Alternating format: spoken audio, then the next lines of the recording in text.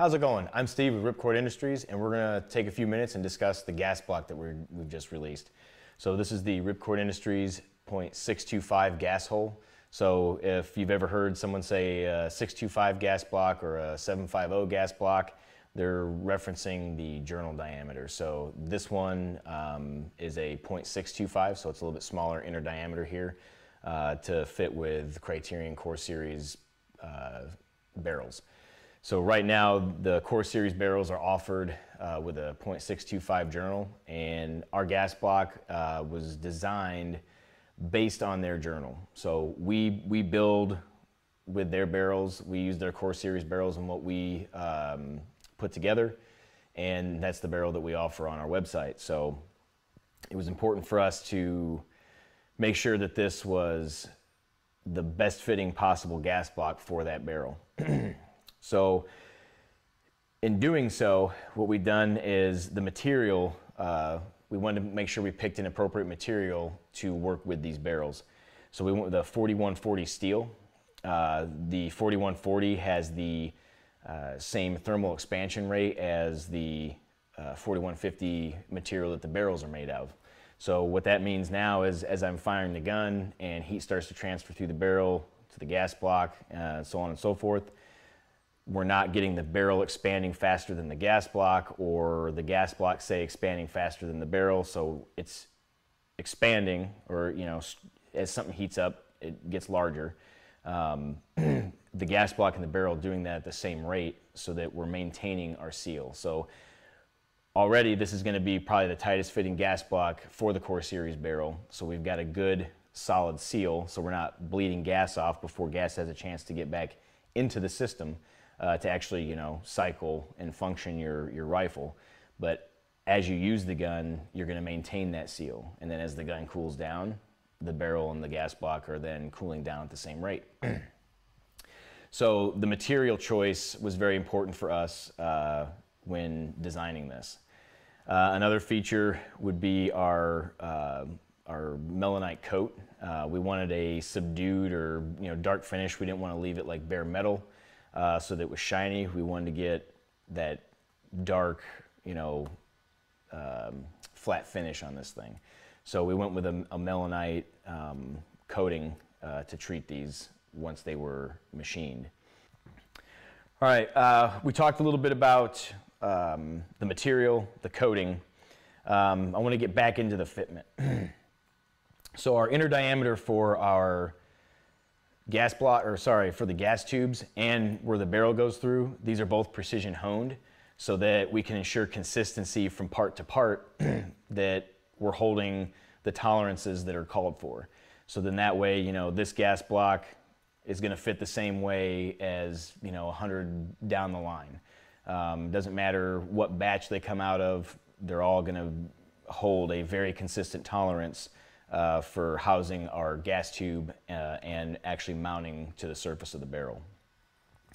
Another feature in the profile, if you'll notice um, at the top edge, the width here that uh, houses the gas tube, uh, we've made this as, as, skinny as we can. Um, you've got a lot of different, you know, KeyMod or M-LOK rails on the market that have um, smaller inner diameters. um, and we don't want this portion of our gas block to come in contact with the rail. Now, you're not really to, you know, someone that shoots at the range and um, they're close to, to mid-range distances, they're not to notice, you know, an, a negative effect from the gas block coming in contact with the rail, making it truly not free float. Um, but you know that's important to people um, and if we're going to do something we're going to try and do things you know the right way. So we don't want the gas block coming in contact with the rail in this area or at the bottom. I'll get to the bottom in a sec. So we made this pretty skinny. So what that also allows for is that there are times at which when barrels are dimpled uh, for the set screws uh, at the you know factory or wherever they're made it's not quite perfect um, at the six o'clock position. So you, you might end up having to index the gas block just ever so slightly left or right, depending on if that dimple's off. Because those dimples and those gas ports on the barrel are usually done at the same time. So if you have that ever so slightly misaligned dimple, and if this was a fatter portion here at the top and it was sitting at a slight angle, the chances of you coming in contact with the rail or your gas block coming in contact with the rail are higher. So we wanted to make sure that this area here was a lot skinnier so that it would fit and there's plenty of clearance. So we don't want this touching the rail uh, once it's installed. Now on the bottom, we have just a little bit of a raised surface here. Um, some other gas blocks that we've used in the past, the set screws, um, the front one mainly, would actually stick out of the gas block a little bit and we're not getting like complete thread engagement and that bothered uh, folks. And quite honestly, it bothered my OCD a little bit as well. Um, even though that front set screw is just a point, it's like an added security feature, you know, it's, it's only like pressing against the barrel, there's no dimple there. um, we still want to make sure that it's actually like completely housed inside the gas block. So we're making sure that we're getting complete thread engagement between the gas block and the set screw. Um, so we've made just little ledge or had this little ledge just enough to where it would actually completely house both set screws. We're getting full thread engagement uh, between both screws. You'll notice like when you get this, uh, the rear uh, set screw here, or I'm sorry, channel for the set screw, that set screw will sit just a little bit deeper because that's where the barrel is dimpled. So when you are mounting a low profile gas block, the rear set screw uh, will appear to sit deeper uh, into this, this space here. Uh, that is because the dimple uh, from the manufacturer on the barrel is where uh, this set screw is actually going to interface with the barrel. So it actually gets to sit down in um, this space here. So that allows now the set screw to actually have a little depression to bite into and that helps keep things from rotating right and left and again uh, you know sliding forward potentially. And then if you'll notice here this is pretty uh, this is just a smooth surface and that other set screw is just going to be like pressing against that spot here. Um, but to ensure that both were completely housed thread engagement was good to go we wanted to make sure we left just a little bit of a raised edge here and it keeps things protected. Now this also unless you're using, I believe it's the Magpul um, M-LOK screws. Those are a little longer than some of the other brand, um, you know, M-LOK accessories that are out there. You might have to shave those down a little bit. Um, this should not interfere with the use of M-LOK accessories uh, if you have to mount a grip or something in this area and the gas block happens to be near those M-LOK slots. So we wanted to make this low profile. It is kind of beefy. Um, our sidewalls are a little beefy on this thing. It's a pretty solid gas block. Um, one of the main features of the body of the gas block that was very important to us was how it fit to the barrel or you know actually you know interfaces with the journal of the barrel and so I want to show you guys an example of why this is important to us. so here's an upper receiver group that we're getting ready to build. Uh, this is uh, a gas block from another company um, and what we're going to do is I'm going to slide this on here and that you know, it's kind of loose, right? So now we have the risk of we're going to be bleeding a lot of gas between the gas block and the barrel. And what that could affect is how efficiently our gun is running. So if we're bleeding, you know, 12 to 15% of gas out of the system before it ever actually makes it into the gas tube, back into your, you know, gas key, run your bolt carrier group, that kind of thing, that potentially could cause you some problems, especially if you're running like some reman uh, ammunition or like weaker power, like steel case stuff. Um, you could run into cycling issues. So what we were wanting to do is actually have a much tighter fitment here, so you can't spin this thing, and and we we wanted a more consistent um, amount of gas coming back uh, into the system. So this is just you know it's a gas block from another company, but it's this is too too loose. You shouldn't be able to spin these around like the Wheel of Fortune. So another nice feature of the body of our gas block is that we've set the distance from this rear face to where our rear set screw interfaces with the dimple. We've set these to where we can actually just press it all the way against the shoulder and that should get you lined up your rear, rearward and forward alignment uh, set. With this gas block, we have to eyeball it um, and index off that rear dimple. We can't just press it on there and it's not to, you know, it won't be good to go. So we have to actually leave a gap here. And if you'll notice with how loose this is, once you get it lined up, trying to screw in one of your set screws, once it's lined up, you know, I'm to try and hold on to this thing. Let me get this back on here. To try and keep things aligned the way I need it to be. And you'll notice like as we're twisting, right, it's starting to shift a little bit and you're gonna have to keep watching this area. It, you know, depending on how loose this fits, as you're tightening the screw, you run the risk of now your gas block coming out of alignment. All right, so what I'm gonna do now is I'm gonna take this, set it aside. This is another uh, upper receiver that we just kind of have for kind of putting stuff together and testing things. Now I will say with how precisely we've done our inner diameter based on the uh, journals or the gas block journals for the Criterion Core Series barrels, we are going to have to prep the journal surface um, to fit our gas block. and we just simply took like Scotch-Brite and what we're doing is we're smoothing out the phosphate coating uh, in the section of the barrel that is along that gas block journal. So when the phosphate coating process is done, there's not necessarily, they can't guarantee that the buildup or the coating is going to stay at a certain diameter. So this is the only um, uncontrolled, for lack of a better term, variable uh, in the design of the gas block or, you know, making sure things interface to each other. So just by prepping our surface here with some Scotch-Brite, not a Dremel, not, you know, um, we're not taking a wire brush to it or anything crazy like that. We're just smoothing this up, removing just a little bit of that um, phosphate coating so that we can then press the gas block into place. So now with this one, like I have to actually apply force to get it to, to go anywhere. Um, the only thing that we found um, from 11.5 on up, you don't really have to prep the surface a whole heck of a lot. Uh, for whatever reason, on the 10.5 uh, Core Series barrels, those that area just seems to be pretty chunky, and your trouble areas are going to be near the front of the journal and then about midway uh, on your journal.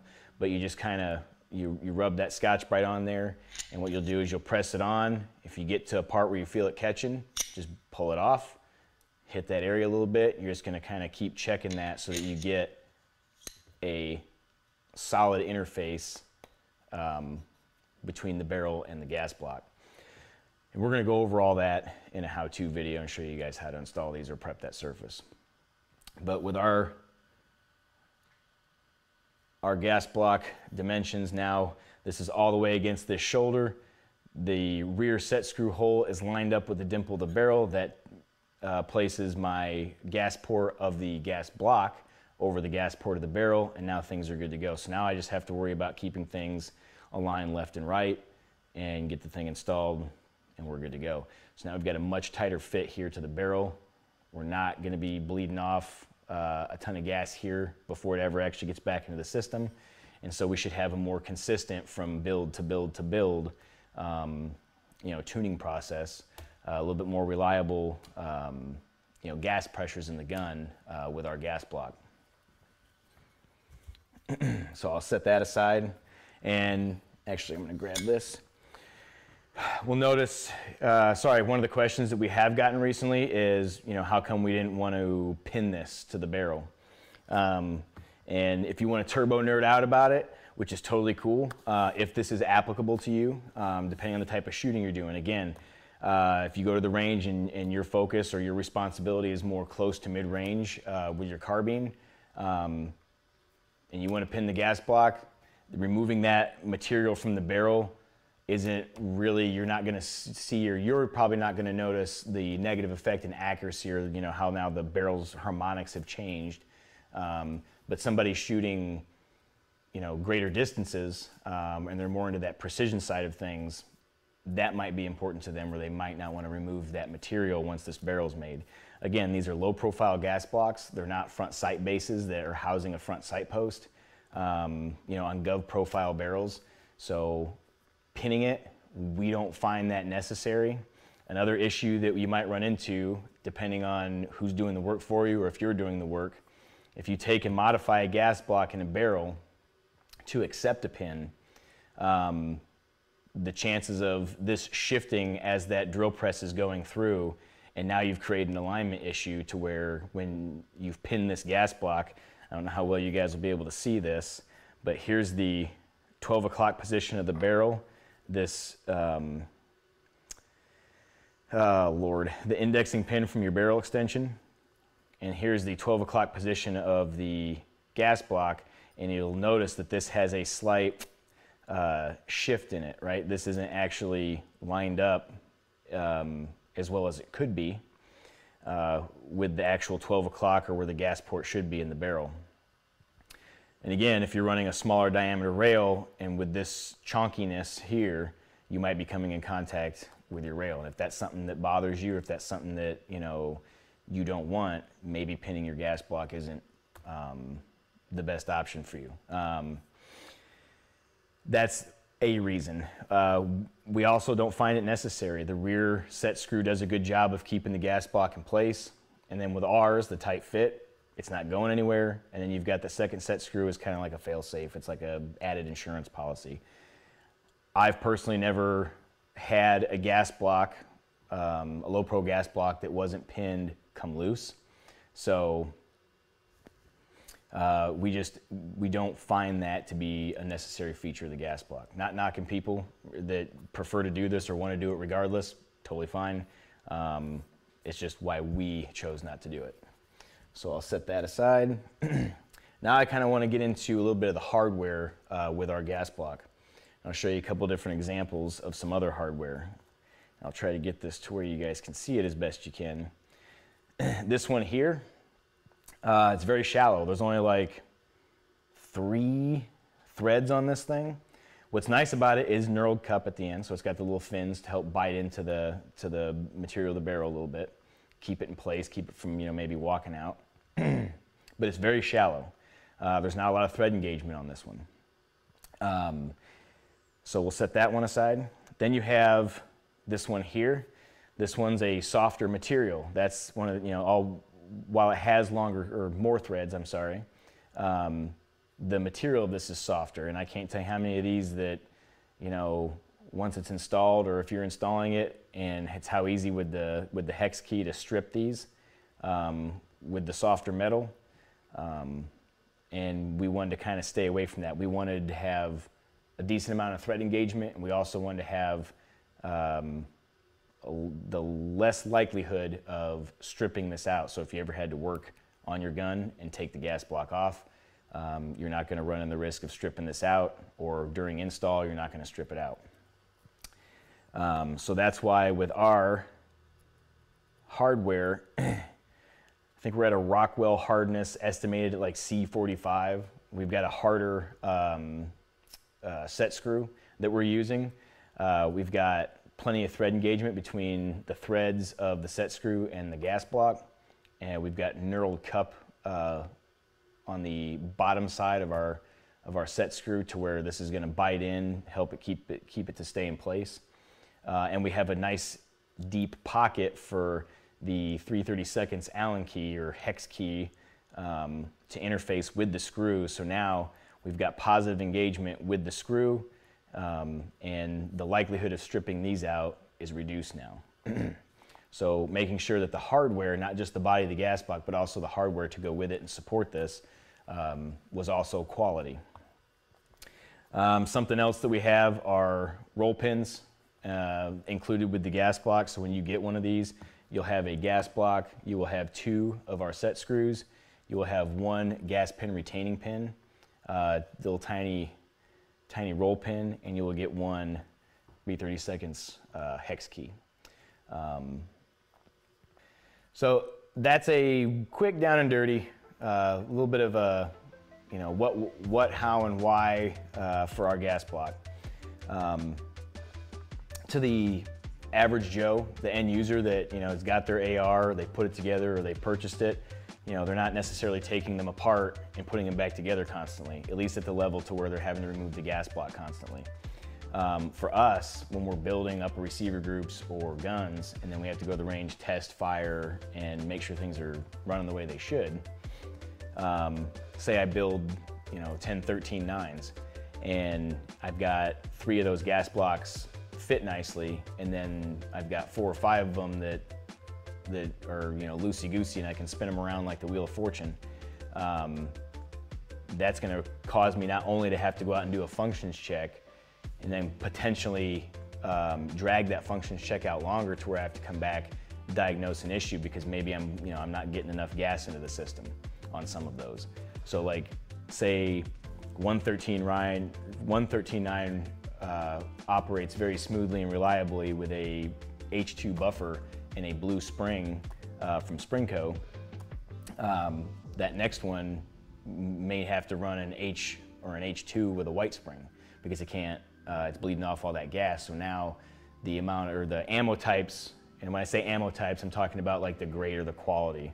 Uh, say like federal, we generally don't have any issues with federal, but if you get maybe some PMC or some Winchester white box or maybe even uh, a crappier steel case brand ammo, um, your gun may not like that as much if your gas block isn't, and this isn't the only aspect, you know, um, but the amount of ammo types that you, you know, can run with your AR, if you're bleeding off a bunch of gas, that's gonna reduce that window uh, of what you can run through your gun. So it was important for us to, to be able to control the quality uh, from the body to the material to the fitment, all that kind of stuff.